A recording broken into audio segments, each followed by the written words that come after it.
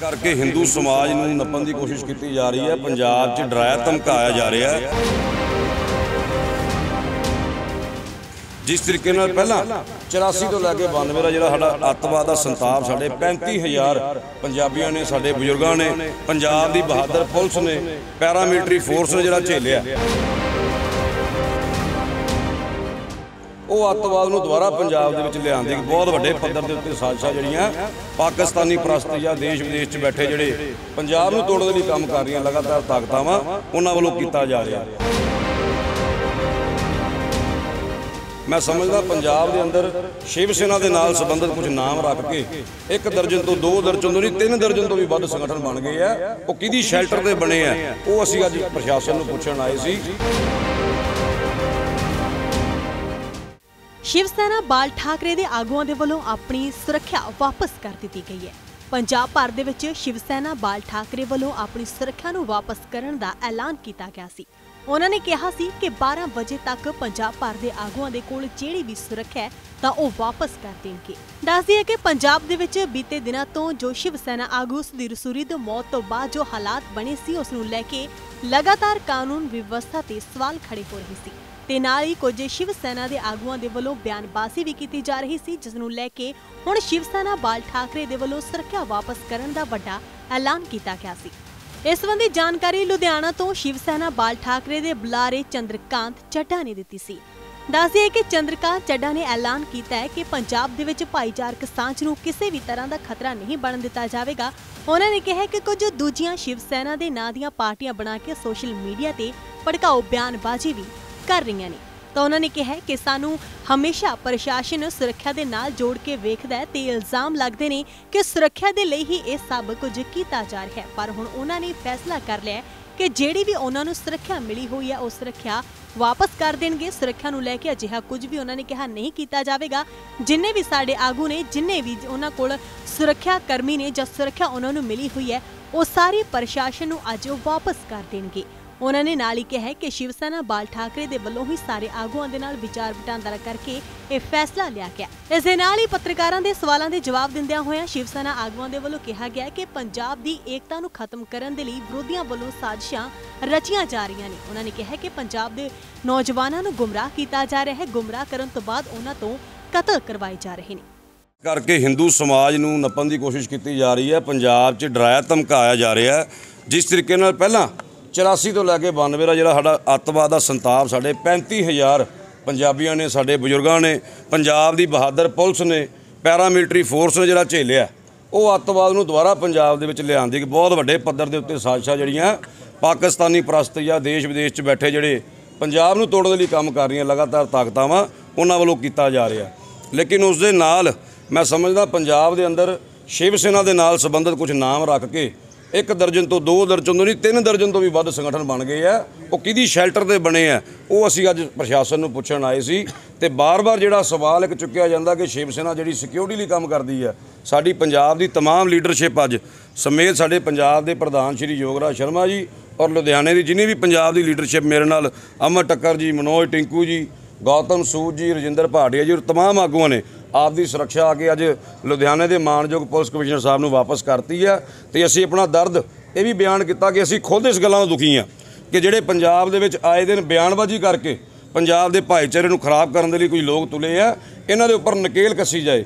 ਦੂਸਰਾ ਜਿਹੜੇ ਉਹ ਕੱਟਰਪੰਥੀ, ਜਿਹੜੇ ਸਾਡੇ ਨੌਜਵਾਨਾਂ ਨੂੰ ਜਿਹੜੇ ਪਹਿਲਾਂ ਹੀ ਪ- ਜਿਹੜਾ ਸਾਡਾ ਨਾਲ ਦਾ ਜਿਹੜਾ ਮੁਲਕ ਆ ਪਾਕਿਸਤਾਨ ਉਹ ਨਸ਼ੇ ਵੱਲ ਤੋਰ ਰਿਹਾ ਉਹਨਾਂ ਨੂੰ ਹਥਿਆਰਾਂ ਚੁੱਕਣ ਦੀ ਜਿਹੜੀ ਪ੍ਰੇਰਣਾ ਦੇ ਰਹੇ ਆ ਤੇ ਅੱਜ ਨੌਜਵਾਨ ਗੁੰਮਰਾਹ ਹੋ ਕੇ ਪੰਜਾਬ 'ਚ ਵੱਡੇ ਪੱਧਰ ਤੇ ਕਤਲੇਆਮ ਕਰ ਰਹੇ ਆ ਤੇ ਬੜੀ ਹੈਰਾਨੀ ਦੀ ਗੱਲ ਹੈ ਤੇ ਅਫਸੋਸ ਦੀ ਗੱਲ ਹੈ ਕਿ ਪੰਜਾਬ ਦੇ ਵਿੱਚ ਐਡਾ ਵੱਡਾ ਫਤਵਾ ਜਾਰੀ ਕਰਕੇ ਜਿਹੜੇ ਅਸੀਂ ਸਰਕਾਰ ਨੂੰ ਚੁਣਿਆ ਮੁੱਖ ਮੰਤਰੀ ਸਾਹਿਬ ਕਹਿ ਰਹੇ ਕਿ ਇਹ ਤਾਂ ਛੋਟੀਆਂ-ਮੋਟੀਆਂ ਗੱਲਾਂ ਤੁਸੀਂ ਨਾਲ ਦੇ ਸੂਬਿਆਂ ਵੱਲ ਦੇਖੋ ਇਸ ਤੋਂ ਵੱਡੇ ਕ੍ਰਾਈਮ ਹੈ। ਬੜੀ ਹੈਰਾਨੀ ਦੀ ਗੱਲ ਹੈ ਕਿ ਅਸੀਂ ਦਿੱਲੀ ਮਾਡਲ ਦੀ ਗੱਲ ਕਰਦੇ ਸੀ ਸਰਕਾਰ ਲਿਆਉਣ ਤੋਂ ਪਹਿਲਾਂ ਕਿ ਸਿੱਖਿਆ ਵੱਡੇ ਪੱਧਰ ਤੇ ਜਾਏਗੀ। ਜਿਹੜੀ ਆ ਅ, ਜਿਹੜੀ ਅ, ਚਿਕਿਤਸਾ ਜਿਹੜੀ ਹੈ ਵੱਡੇ ਪੱਧਰ ਤੇ ਜਾਏਗੀ ਲੇਕਿਨ ਹੁਣ ਜਿਹੜਾ ਕ੍ਰਾਈਮ ਹੈ ਉਹ ਵੱਡੇ ਪੱਧਰ ਵੱਲ ਵੀ ਜਾਊਗਾ ਯੂਪੀ ਬਿਹਾਰ ਵੱਲ ਦੀ ਉਹ ਮਿਸਾਲਾਂ ਦੇ ਰਹੇ ਆ ਆਪਣੀ ਜ਼ਿੰਮੇਵਾਰੀ ਤੋਂ ਭੱਜਣ ਦਾ ਬੜਾ ਸ਼ਰਮਨਾਕ ਜਿਹੜਾ ਬਿਆਨ ਸੀਐਮ ਸਾਹਿਬ ਨੇ ਦਿੱਤਾ ਉਸ ਬਿਆਨ ਦੀ ਆਲੋਚਨਾ ਕਰਦੇ ਹੋਏ ਅਸੀਂ ਅੱਜ तमाम ਸ਼ਿਵ ਸੈਨਿਕਾਂ ਨੇ ਜਿਹੜਾ ਸਾਡਾ ਮੂਲ ਮੰਤਰ ਸੀਗਾ ਅੱਤਵਾਦ ਵੇਲੇ ਵੀ ਕਿ ਸ਼ਿਵ ਸ਼ਕਤੀ ਦਾ ਜਾਪ ਕਰਾਂਗੇ ਆਪਣੀ ਰੱਖਿਆ ਆਪ ਕਰਾਂਗੇ ਦੇ ਤਹਿਤ ਆਪਣੀ ਆਪਣੀ ਸੁਰੱਖਿਆ ਜਿਹੜੀ ਹੈ ਵਾਪਸ ਦੇਤੀ ਹੈ ਹੁਣ ਅਸੀਂ ਆਪਣੀ ਜਿਹੜੀ ਵੀ ਅ, ਕਾਰਗੁਜ਼ਾਰੀ ਹੈ ਚਾਹੇ ਉਹ ਧਰਮ ਦੇ ਪ੍ਰਚਾਰ ਪ੍ਰਸਾਰ ਦੀ ਹੈ ਜਾਂ ਦੇਸ਼ ਵਿਰੋਧੀ ਤਾਕਤਾਂ ਦੇ ਖਿਲਾਫ ਹੈ ਉਹ ਅਸੀਂ ਜ਼ਮੀਨੀ ਪੱਧਰ ਤੇ ਉਸੇ ਤਰੀਕੇ ਨਾਲ ਰੱਖਾਂਗੇ। ਅਸੀਂ ਆਪਣੀ ਸਿਕਿਉਰਿਟੀ ਵਾਪਸ ਦੇ ਆਏ ਜੀ ਉੱਥੇ। ਉਹਨਾਂ ਨੂੰ ਦੱਸਤਾ ਵੀ ਤੁਹਾਡੇ ਹੈਂਡਓਵਰ ਕਰਤੀ ਹੈ ਤੁਹਾਡੇ ਸਾਹਮਣੇ ਤੋਂ ਖਾਲੀ ਜਾਵਾਂਗੇ। ਹੁਣ ਸਰਕਾਰ ਨੂੰ ਅਸੀਂ ਤੁਹਾਡੇ ਮਾਧਿਅਮ ਨਾਲ ਕਹਿਤਾ ਕਿਉਂਕਿ ਜੇ ਸਾਡੇ ਚੀਫ ਮਿਨਿਸਟਰ ਸਾਹਿਬ ਨੇ ਗੱਲ ਕਹਿਤੀ ਹੈ ਕਿ ਠੋਕ ਕੇ ਕਿ ਇਹ ਛੋਟੀਆਂ-ਮੋਟੀਆਂ ਗੱਲਾਂ। ਤੇ ਸ਼ਿਵ ਸੈਨਿਕਾਂ ਦੇ ਜਦੋਂ ਬਾਰ-ਬਾਰ ਕੁਝ ਪੱਤਰਕਾਰ ਵੀਰ ਵੀ ਉਂਗਲ ਚੱਕਦੇ ਆ ਕਿ ਸਿਕਿਉਰਿਟੀ ਲਈ ਸਭ ਕੁਝ ਹੋ ਰਿਹਾ। ਅਸੀਂ ਤਾਂ ਅੱਜ ਆਪਣੇ ਸ਼ਿਵ ਸੈਨਿਕਾਂ ਨੇ ਆਪਣੀ ਮਾਂ ਦੇ ਦੁੱਧ ਪੀਤੇ ਹੋਣ ਦਾ ਸਬੂਤ ਦੇਤਾ। ਹੁਣ ਦੇਖਣਾ ਇਹ ਹੋਏਗਾ ਕਿ ਪੰਜਾਬ ਦੇ ਸੀਐਮ ਸਾਹਿਬ ਨੇ ਵੀ ਕਿਹਾ ਆਪਦੀ ਮਾਂ ਦਾ ਦੁੱਧ ਪੀਤਾ, ਉਹ ਵੀ ਹੁਣ ਬਗੈਰ ਸਿਕਿਉਰਿਟੀ ਤੋਂ ਕਿ ਪੰਜਾਬ ਦੀ ਕੱਲੀ ਕੱਲੀ ਗਲੀ ਦੇ ਵਿੱਚ ਇੱਕ ਗੱਡੀ 'ਚ ਘੁੰਮਦੀ ਹੈ ਤਾਂ ਕਿ ਜਿਹੜਾ ਉਹਨਾਂ ਦਾ ਇੱਕ ਬਿਆਨ ਹੈ ਕਿ ਪੰਜਾਬ ਦੇ ਅੰਦਰ ਅਮਨ ਸ਼ਾਂਤੀ ਭਾਈਚਾਰੇ ਵਾਲਾ ਮਾਹੌਲ ਬਣਿਆ, ਉਹ ਉਹ ਲੋਕਾਂ ਦੇ ਵਿੱਚ ਵਿਸ਼ਵਾਸ ਜਿੱਤ ਪਾਉਂਦੇ ਆ।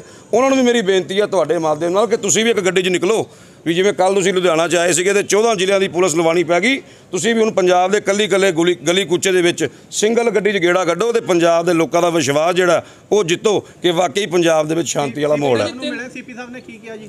ਜੀ ਬਿਲਕੁਲ ਅਸੀਂ ਸੀਪੀ ਸਾਹਿਬ ਨੂੰ ਆਪਣਾ ਦਰਦ ਦੱਸਤਾ ਕਿ ਸਾਡਾ ਕੋਈ ਜਿਹੜੀ ਬਿਆਨਬਾਜ਼ੀ ਨਾਲ ਲੈਣਾ ਦੇਣਾ ਨਹੀਂ ਹੈ ਜਿਹੜੀਆਂ ਇਹ ਸ਼ਿਵ ਸੈਨਾ ਦੇ ਨਾਮ ਤੇ ਬਣੀਆਂ ਜਥੇਬੰਦੀਆਂ ਜਾਂ ਜਿਹੜੇ ਅੰਮ੍ਰਿਤਪਾਲ ਵਰਗੇ ਲੋਕ ਹੈ ਇਹਨਾਂ ਦੋਵਾਂ ਦੇ ਖਿਲਾਫ ਜੋ ਵੀ ਪ੍ਰਸ਼ਾਸਨ ਕਾਰਵਾਈ ਕਰਦਾ ਕਿਉਂਕਿ ਅਸੀਂ ਤਾਂ ਪ੍ਰਮਾਣ ਦੇ ਰਹੇ ਹਾਂ ਲਗਾਤਾਰ। ਪਤਾ ਨਹੀਂ ਮੀਡੀਆ ਕਿਉਂ ਇਸ ਗੱਲ ਨੂੰ ਨਹੀਂ ਦਿਖਾਉਂਦੀ ਕਿ ਸ਼ਿਵ ਸੈਨਾ ਦੇ ਵਿੱਚ ਫ਼ਰਕ ਕਿਉਂ ਨਹੀਂ ਪੈਦਾ ਕਰ ਰਹੀ ਡਿਫਰੈਂਸ ਜਿਹੜਾ ਵਾ। 2 ਸਾਲ ਪਹਿਲਾਂ ਤੋਂ ਅਸੀਂ 6 ਜੂਨ ਜਿਹੜਾ ਐਡਾ ਵੱਡਾ ਇੱਕ ਦਿਹਾੜਾ ਜਿਹੜਾ ਪੰਜਾਬ ਦੇ ਅਮਨ ਭਾਈਚਾਰੇ ਨੂੰ ਨੁਕਸਾਨ ਪਹੁੰਚਾਉਂਦਾ ਅਸੀਂ 2 ਸਾਲ ਪਹਿਲਾਂ ਹੀ ਉਸ ਗੱਲ ਦੇ ਲਈ ਸ਼ਿਵ ਸੈਨਾ ਬਾਲ ਠਾਕਰੇ ਨੇ ਐਲਾਨ ਕਰਤਾ ਸੀ ਤੁਹਾਡੇ ਸਾਰਿਆਂ ਦੇ ਵਿੱਚ ਕਿ ਅਸੀਂ ਇਹ ਜਿਹੜਾ ਕਾਰਜਕ੍ਰਮ ਨਿਰਸਤ ਕਰ ਰਹੇ ਹਾਂ, ਖਤਮ ਕਰ ਰਹੇ ਹਾਂ। ਦੂਸਰਾ ਜੇ ਪਟਿਆਲੇ ਦੇ ਵਿੱਚ 29 ਅਪ੍ਰੈਲ ਨੂੰ ਹਰੀ ਸਿੰਘਲਾ ਨਾਂ ਦੇ ਵਿਅਕਤੀ ਨੇ ਪੰਜਾਬ ਨੂੰ ਅੱਗ ਲਾਉਣ ਦੀ ਕੋਸ਼ਿਸ਼ ਕੀਤੀ। ਉਹਨੂੰ ਵੀ ਅਸੀਂ 2 ਮਿੰਟ ਨਹੀਂ ਲਾਏ ਪਾਰਟੀ ਤੋਂ ਕੱਢਣ ਲਈ। 2 ਦਿਨ ਪਹਿਲਾਂ ਜੇ ਗੁਰਦਾਸਪੁਰ ਤੋਂ ਇੱਕ ਸਾਡੀ ਪਾਰਟੀ ਦਾ ਆਗੂ ਸੀ ਹਰਵਿੰਦਰ ਸੋਨੀ, ਜੇ ਉਹਨੇ ਦਰਬਾਰ ਸਾਹਿਬ ਬਾਰੇ ਮਾੜੀ ਟਿੱਪਣੀ ਕੀਤੀ ਜਿਹੜਾ ਪੂਰੇ ਦੁਨੀਆ ਦੇ ਹਿੰਦੂ ਸਿੱਖਾਂ ਦਾ ਆਰਾਧਿਆ ਸਥਾਨ ਹੈ, ਅਸੀਂ ਉਦੋਂ ਵੀ 2 ਮਿੰਟ ਨਹੀਂ ਲਾਏ। ਪਰ ਜਿਹੜੇ ਬਾਕੀ ਲੋਕ ਜਿਹੜੇ ਬਿਆਨਬਾਜ਼ੀ ਕਰ ਰਹੇ ਆ ਲਗਾਤਾਰ, ਕਿਸੇ ਨਾ ਕਿਸੇ ਧਰਮ ਨੂੰ ਟਾਰਗੇਟ ਕਰ ਰਹੇ ਆ, ਉਹਨਾਂ ਦੇ ਖਿਲਾਫ ਕਾਰਵਾਈ ਕਿਉਂ ਨਹੀਂ ਹੋ ਰਹੀ? ਬਾਕੀ ਕੌਣ ਨੇ? ਬਾਕੀ ਤੁਹਾਡੇ ਚੈਨਲਾਂ ਦੇ ਰੋਜ਼ ਦੇਖਦੇ ਹਾਂ ਅਸੀਂ। ਕੋਈ ਵੀ ਉੱਠਦਾ ਕਿਸੇ ਵੀ ਧਰਮ ਦੇ ਬਾਰੇ ਅਸੀਂ ਕਿਉਂ ਦੇਵਾਂਗੇ ਲਿਸਟ ਪ੍ਰਸ਼ਾਸਨ ਦੇ ਸਭ ਕੁਝ ਵਾਚ ਹੈ। ਤੁਹਾਡੇ ਚੈਨਲਾਂ ਦੇ ਸਭ ਕੁਝ ਆ ਰਿਹਾ। ਜਿਵੇਂ ਅਸੀਂ ਦੇਖ ਰਹੇ ਉਹ ਵੀ ਦੇਖ ਰਹੇ ਨੇ। ਚੱਡਾ ਸਾਹਿਬ ਆਪਣੀ ਪਾਰਟੀ ਨੂੰ ਤੁਸੀਂ ਸਹੀ ਰਹੇ ਹੋ ਕਹਿੰਦੇ ਕਿ ਸਾਡੀ ਪਾਰਟੀ ਸਹੀ ਹੈਗੀ ਮੈਂ ਆਪਣੀ ਆਪਣੇ ਆਪ ਨੂੰ ਸਹੀ ਕਹਿ ਹੀ ਨਹੀਂ ਰਿਹਾ। ਮੈਂ ਕਦੋਂ ਕਹਿ ਰਿਹਾ ਕਿ ਮੈਂ ਦੁੱਧ ਦਾ ਤੁਲਿਆ ਵਾਂ? ਮੈਂ ਤੁਹਾਡੇ ਵਿੱਚ ਗੱਲ ਇਹ ਰੱਖ ਰਿਹਾ ਕਿ ਕਿਹਦੀ ਬਿਆਨਬਾਜ਼ੀ ਸਹੀ ਹੈ ਉਹ ਪ੍ਰਸ਼ਾਸਨ ਤੈਅ ਕਰੇ। ਮੈਂ ਕਦੋਂ ਕਹਿ ਰਿਹਾ ਕਿ ਮੈਂ ਸਹੀ ਹੈ ਤੇ ਉਹ ਗਲਤ ਨੇ। ਜਿਹੜੇ ਲੋਕ ਮਾਹੌਲ ਨੂੰ ਖਰਾਬ ਕਰ ਰਹੇ ਆ, ਚਾਹੇ ਉਹ ਕੱਟਰਪੰਥੀ ਨੇ, ਚਾਹੇ ਕੁਝ ਸ਼ਿਵ ਸੈਨਾ ਦੇ ਨਾਮ ਨਾਲ, ਨਾਮ ਰੱਖ ਕੇ ਸੰਗਠਨਾਂ ਦੇ ਨਾਲ, ਸ਼ਿਵ ਸੈਨਾ ਨੂੰ ਖਤਮ ਕਰਨ ਦੇ ਤੁਲੇ ਆ। ਸਾਨੂੰ ਤਾਂ ਇਹ ਲੱਗਦਾ ਕਿ ਬਹੁਤ ਵੱਡੀਆਂ ਰਾਜਨੀਤਿਕ ਤਾਕਤਾਂ ਜਿਹੜੀਆਂ ਨੇ, ਉਹ ਪੰਜਾਬ ਦੇ ਵਿੱਚ ਸ਼ਿਵ ਸੈਨਾ ਨੂੰ ਖਤਮ ਕਰਨ ਦੇ ਲਈ ਲੱਗੀਆਂ, ਜੋ ਅਸੀਂ ਬਿਲਕੁਲ ਕਦੇ ਬਰਦਾਸ਼ਤ ਨਹੀਂ ਕਰਾਂਗੇ। ਪੰਜ ਛੇ ਬੰਦੇ ਇਕੱਠੇ ਹੋ ਕੇ ਸ਼ਿਵ ਬਣਾ ਕੇ ਰੀਟਡ ਕਰਾ ਕੇ ਉਹੀ ਤਾਂ ਬੇਨਤੀ ਕੀਤੀ ਹੈ ਜੀ ਅਸੀਂ। ਕਿ ਜਿਹੜਾ ਉੱਠਦਾ ਆਪਣੇ ਆਪ ਨੂੰ ਰਾਸ਼ਟਰੀ ਪ੍ਰਧਾਨ ਦੱਸਦਾ ਤੇ ਇੱਕ ਨਵੀਂ ਸ਼ਿਵ ਸੈਨਾ ਕ੍ਰੀਏਟ ਕਰ ਲੈਂਦਾ ਤੇ ਉਹਨੂੰ ਸ਼ੈਲਟਰ ਕਿਹਦਾ ਸਰਕਾਰ ਤੇ ਪ੍ਰਸ਼ਾਸਨ ਹੀ ਵਾਚ ਕਰੇਗਾ ਨਾ ਜੀ ਉਹ। ਕਿ ਕੀ ਜੀ ਉਹਨਾਂ ਨੇ ਬਿਲਕੁਲ ਅਸ਼ੋਰ ਕੀਤਾ ਕਿ ਉਹ ਸਾਡੀਆਂ ਜਿਹੜੀਆਂ ਗੱਲਾਂ ਨੇ ਪੰਜਾਬ ਦੇ ਸੀਐਮ ਸਾਹਿਬ ਨੂੰ ਤੇ ਡੀਜੀਪੀ ਸਾਹਿਬ ਤੱਕ ਇਹ ਪਹੁੰਚਾਉਣਗੇ। ਤੇ ਅਸੀਂ ਅੱਗੋਂ ਵੀ ਜਿਹੜਾ ਇਹ ਤੁਹਾਡੇ ਮਾਧਿਅਮ ਦੇ ਨਾਲ ਸਮੇਂ-ਸਮੇਂ ਸਿਰ ਇਹ ਹੁਣ ਜਿਹੜਾ ਸਹੀ ਪੋਲਿਟਿਕਸ ਹੈ ਪੰਜਾਬ ਦੀ ਸ਼ਿਵ ਸੈਨਾ ਦਾ ਜੋ ਸਹੀ ਮੂਲ ਮੰਤਰ ਹੈ ਸਭ ਨੂੰ ਜੋੜਨ ਵਾਲਾ ਸਾਰੇ ਧਰਮਾਂ ਦੀ ਇੱਜ਼ਤ ਕਰਨ ਵਾਲਾ ਉਹ ਤੁਹਾਡੇ ਸਾਹਮਣੇ ਲਗਾਤਾਰ ਪੇਸ਼ ਕਰਾਂਗੇ। ਸਿਕਿਉਰਿਟੀ ਵਾਪਸ ਹੋ ਗਈ ਤੁਹਾਡੀ ਸਿਕਿਉਰਿਟੀ ਅਸੀਂ ਇੱਥੇ ਛੱਡਤੀ ਜੀ ਅੱਜ। ਉਹਨਾਂ ਨੇ ਕਹਿਤਾ ਓਕੇ ਅਸੀਂ ਛੱਡਤੀ ਜੀ ਉਹਨੂੰ ਪ੍ਰਸ਼ਾਸਨ ਦਾ ਕੰਮ ਤਾਂ ਉਹਨਾਂ ਨੇ ਕਹਿਣਾ ਤੁਹਾਨੂੰ ਉਹਨਾਂ ਕੋਲ ਤੁਸੀਂ ਪੁੱਛ ਸਕਦੇ ਹੋ। ਮਿਹਰਬਾਨੀ ਜੀ ਧੰਨਵਾਦ। ਲੁਧਿਆਣਾ ਤੋਂ ਰਜਿੰਦਰ ਅਰੋੜਾ ਦੀ ਰਿਪੋਰਟ। ਹੁਣ ਤੁਸੀਂ ਦੇਖ ਸਕਦੇ ਹੋ ਗਲੋਬਲ ਪੰਜਾਬ ਟੀਵੀ ਨੂੰ ਡਾਊਨਲੋਡ ਕਰੋ ਸਾਡੀ ਐਪ ਐਂਡਰੋਇਡ ਜਾਂ iOS ਤੇ ਫ੍ਰੀ ਵਿੱਚ। roku ਅਤੇ Amazon Fire TV ਤੇ ਜਾਂ Apple TV ਤੇ ਨਾਲ ਹੀ ਦੇਖ ਸਕਦੇ ਹੋ ਲਾਈਵ ਸਟ੍ਰੀਮਿੰਗ www.globalpunjabtv.com ਤੇ।